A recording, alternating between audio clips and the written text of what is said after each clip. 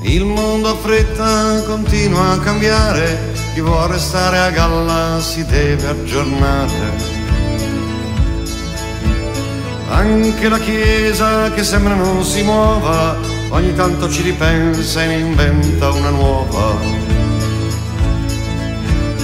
E dimostrando un notevole tempismo ha già tirato fuori un nuovo catechismo dove tutto è più aggiornato, dove tutto è più moderno e anche a vincere un appalto si rischia l'inferno. Dove è condannata ogni forma di magia, ma è un grave peccato anche l'astrologia. Dove il senso di giustizia è ancora più forte e talvolta è anche gradita la pena di morte. La Chiesa si rinnova per la nuova società. E la Chiesa si rinnova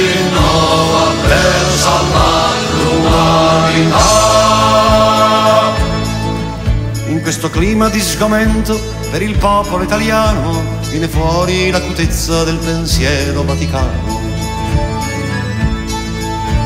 E tutti hanno capito che il Papa era un genio quando ha detto che la mafia è figlia del demonio.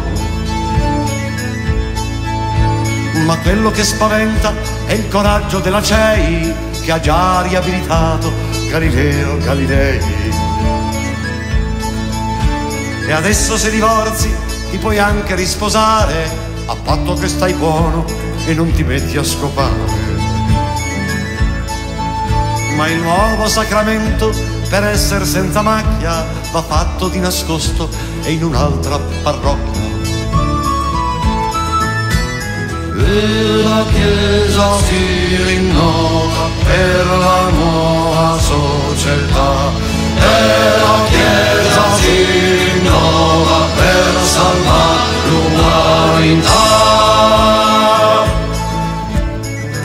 praticante ha un'altra prospettiva, più allegra e disinvolta, direi quasi alternativa. La pillola per ora non può essere accettata, ma è ammessa se prevedi di essere violentata. E piuttosto che fare uso dei preservativi, è meglio diventare tutti sieropositivi. E van bene i militari, e van bene i dottori, adesso abbiamo anche i farmacisti obiettori. D'altronde per la Chiesa l'ideale è l'astinenza, che è un po' come un invito all'autosufficienza. E la Chiesa si rinnova per la nuova società. E la Chiesa si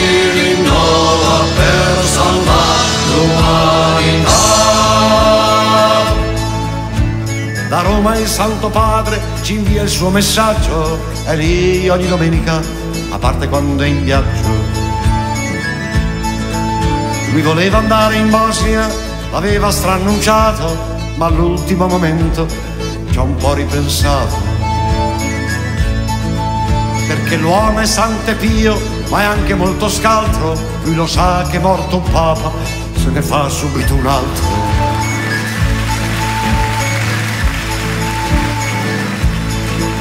E allora ha scritto un libro che è diventato un grosso evento. Sarà anche un po' acciaccato, ma non sta fermo un momento. Per il suo decisionismo si può dire senza offesa che Papa Voitila è il Berlusconi della Chiesa. Una chiesa sempre allerta che combatte fa scintille e per questo è giusto darle un bell'otto per mille. Anche se i traffici loschi della Santa Sede sono parte integrante dei misteri della fede. E la Chiesa si rinnova per la nuova società